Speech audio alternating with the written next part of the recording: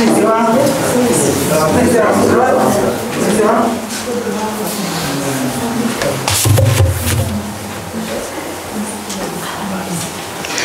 Onorată asistență, bună ziua și bine ați venit la festivitatea de decernare a Premiului Național, ediția 2022. Conform deciziei Comisiei pentru decernarea Premiului Național, în acest an au fost desemnați șapte câștigători. Pentru deschiderea evenimentului, o invităm la tribună pe excelența sa prim-ministra Republicii Moldova, Natalia Gavrilița, cu un cuvânt de salut.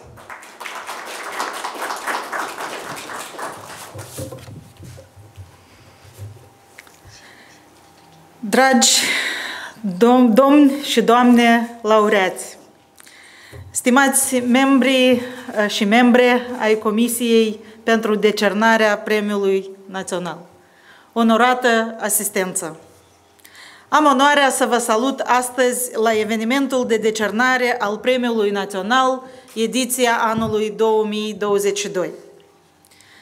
Cunoașteți și dumneavoastră că provocările sociale și economice complicate cărora trebuie să le facem față și războiul din Ucraina își lasă amprenta asupra vieții tuturor cetățenilor țării noastre.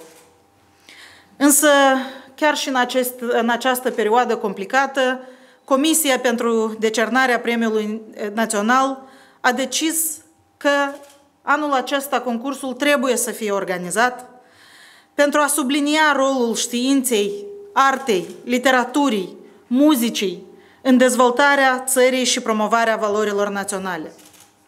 De altfel, mai ales în asemenea momente de cumpănă pentru o societate, cultura poate și trebuie să contribuie la consolidarea rezilienței și unității societății. Avem nevoie, poate mai mult decât oricând, de conjugarea eforturilor pentru a edifica aici, acasă, viitorul european pe care ne-l dorim cu toții. Este o prioritate a Guvernului susținerea, cultivarea și păstrarea, promovarea patrimoniului uman al Republicii Moldova. Oamenii de valoare pe care urmează să îi omagiem astăzi au contribuit nu doar la propășirea spirituală a țării noastre, ci la îmbogățirea vieții culturale și științifice de pe întreg continentul european și întreaga lume. Astăzi suntem aici pentru a-i onora pe laureații Premiului Național. Exercițiul de selectare a laureaților a fost unul dificil, dar până la urmă s-au ales cele șapte nume, șapte personalități care anul acesta sunt recunoscute pentru contribuția lor la dezvoltarea țării. Fiecare dintre aceste personalități și colective marcante au depus de-a lungul carierei o muncă titanică, demonstrând rezultate cu adevărat impresionante. Cei care vor fi premiați astăzi au lucrat adesea în condiții dificile, care însă nu i-au împiedicat să contribuie la îmbogățirea tezaurului cultural și științific al țării noastre. Vreau să le mulțumesc pentru această dedicație și cu toată admirația pentru activitate, vreau să vă rog să continuați, poate cu mai multă motivație și cu mai multă pasiune, munca pe care o faceți, fiecare în domeniul său, ce reprezintă un pilon de bază al societății noastre. Mă bucur că avem oameni valoroși, persoane de referințe, modele pentru tinerii noștri și profitând de această ocazie, vreau să, încuraj, să încurajez pentru ediția anului viitor participarea activă a reprezentanților din toate domeniile. Noi, la guvern, abia așteptăm să avem timpuri mai bune, să avem uh, bucuria să organizăm uh, premierea fastuos, frumos, în condiții de prosperitate, în condiții în care să se poată bucura toată societatea de realizările oamenilor marcanți ai culturii și științei noastre. Vă felicit și vă mulțumesc! Doamna prim-ministră, vă mulțumim și noi și vă rugăm să rămâneți pe loc pentru a procede la înmânarea premiilor. Îl rugăm uh, de asemenea și pe domnul Prodan să se alăture. Așadar, în conformitate cu hotărârea Guvernului numărul 648 din 14 septembrie 2022, Premiul Național pentru anul 2022 se acordă domnului Gennady Korotchenkov, profesor universitar, doctor habilitat în științe fizico-matematice, cercetător științific principal, pentru aportul fundamental adus în dezvoltarea științei și tehnologiilor, dar și pentru promovarea imaginii Republicii Moldova.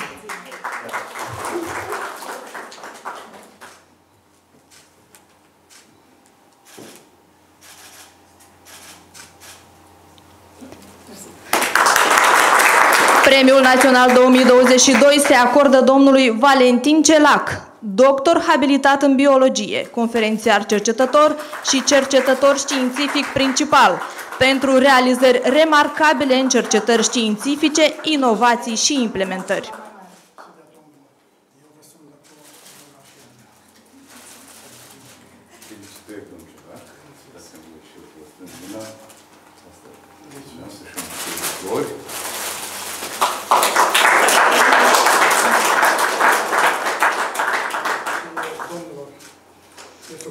Vă rugăm să folosiți microfonul, domnul Celac.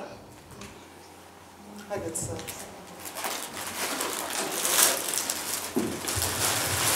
Eh, domnilor, eu sunt necesar de a mulțumi Guvernul Republicii Moldova într-o așa situație grea în care se află țara noastră, problemele sociale, economice, politice.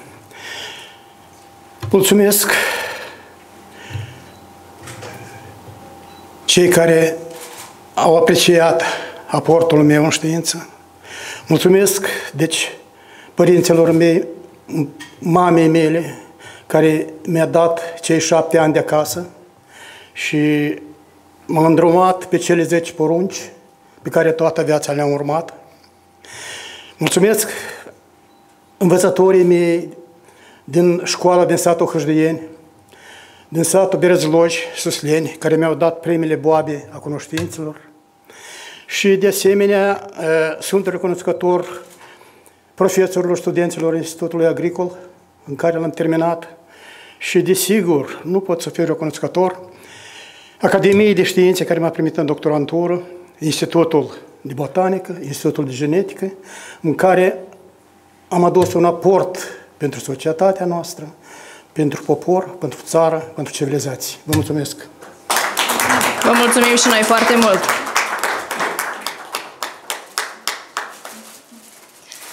Premiul Național 2022 se acordă domnului Mircea Ciobanu, scriitor, critic literar, editor de carte și publicist pentru opera Omnia.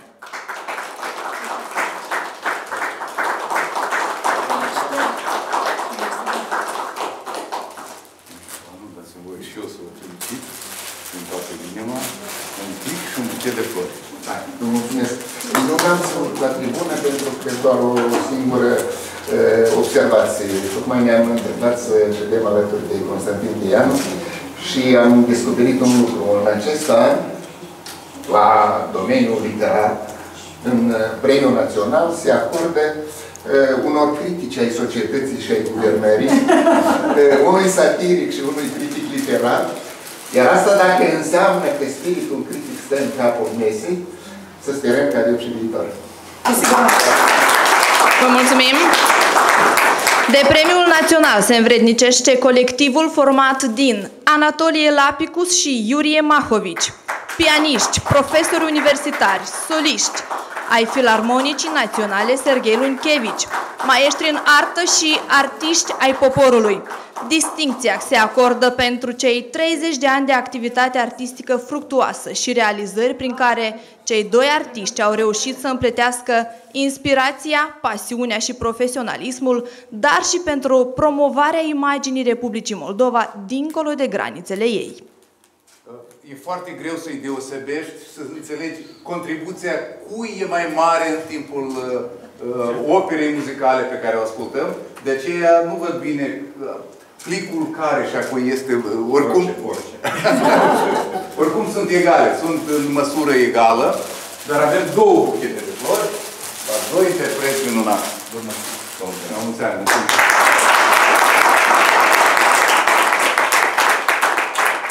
Doar două cuvinte. Cândva la începutul carierei noastre am avut un concert în Ateneul din București și după asta uh, a fost scris un mic articol într-un ziar muzical de critică muzicală care pentru noi cred că a fost cel mai important. El se, se intitula așa, 1 plus 1 este egal cu 1. Deci acest uh, criteriu a devenit uh, motoul nostru în activitate și vă mulțumim foarte mult pentru faptul că am fost apreciați la așa un alt nivel.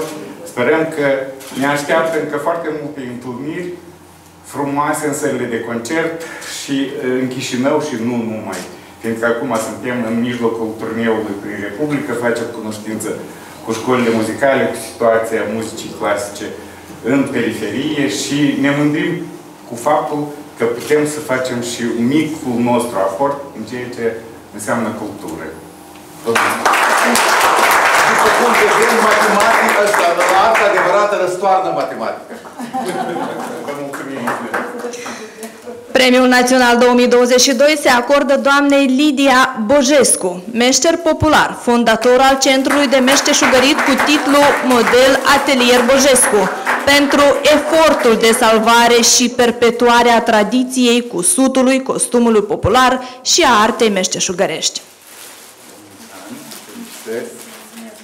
Vre vreau să zic două cuvinte înainte de uh, speech doamnei Băjescu. Deci, uh, eu uh, mizam astăzi, știți că este o sărbătoare extrem de importantă, mizam să reușesc pe acasă, să mă schimb, uh, mă vedeți fără cravată. Nu mi-aș fi luat cravata, mi-aș fi luat cămașa mea cu altinsă de la doamna Bojescu, așa că vă rog să mă considerați acum îmbrăcat în cămașa mea cu altinsă. Și eu vă mulțumesc.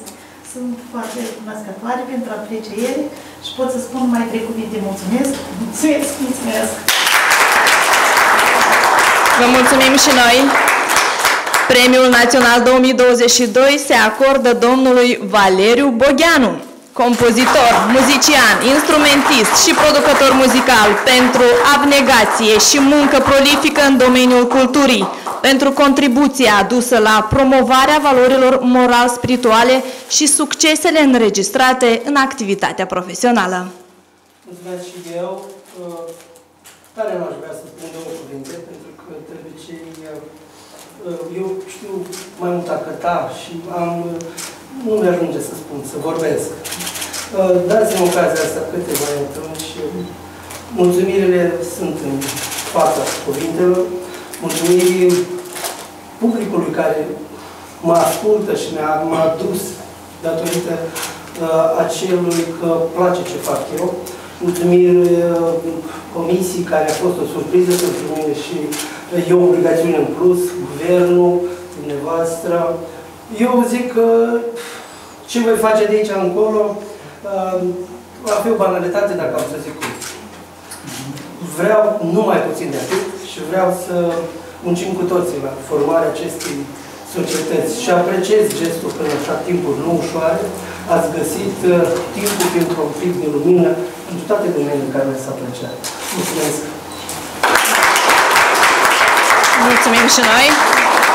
Premiul Național 2022 se acordă domnului Constantin Cheianu, scriitor, dramaturg, publicist, actor, jurnalist, autor de emisiuni și prezentator TV pentru opera Omnia. Și critic, și critic. La mulți ani, felicitări. Ce frază minunată mi-a spus doamna prim-ministru. Uh, Continuați să ne criticați. Asta o să facem. Mulțumesc mult! Doamnelor, domnilor, ceremonia de decernare a Premiului Național ediția 2022 se încheie aici. Invităm laureații și membrii comisiei în față pentru o poză comună.